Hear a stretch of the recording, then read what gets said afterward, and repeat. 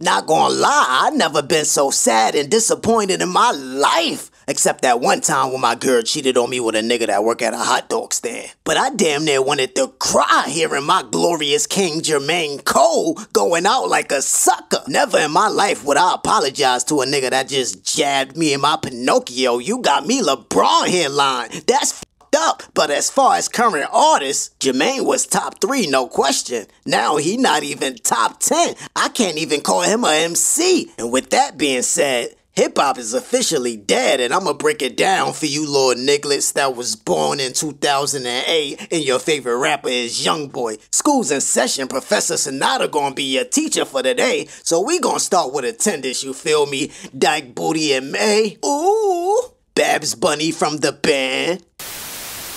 So there's four main elements of hip hop, and one of those is graffiti. You niggas never held a spray can in your life, so we just gonna scratch that off the list. Then we have breakdancing. And the closest thing to that is New York drill music. They be hopping, skipping, and flipping. I almost dislocated my leg trying to get sturdy. But still, that's not breakdancing, so we gotta scratch that off the list too. Next up is DJing. DJing is still around, of course, but it's not the same. I can become the DJ host of a midget stripper party overnight. If you want to book me, DM me. All you need is a phone and a speaker to be a DJ nowadays, so we gotta scratch that off the list too. And last but not least is MCing, aka rapping. Which bring us back to you, Jermaine Cole. So flat out, most of these rappers can't rap. They never had the best verse in a rap cipher in their life. And the ones that can actually rap is ducking smoke from a 5 foot 2 nigga in a kung fu outfit. J. Cole just let Nas down again.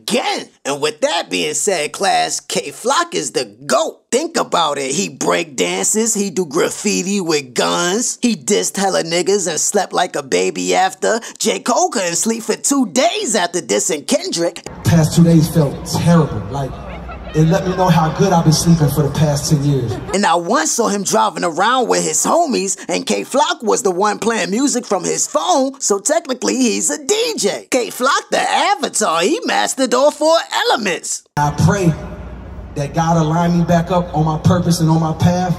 You know what I mean? I pray that my nigga really didn't feel no way. And if he did, my nigga, I got my chin out. Take your best shot. I'm gonna take that shit on the chin, boy. Do what you do.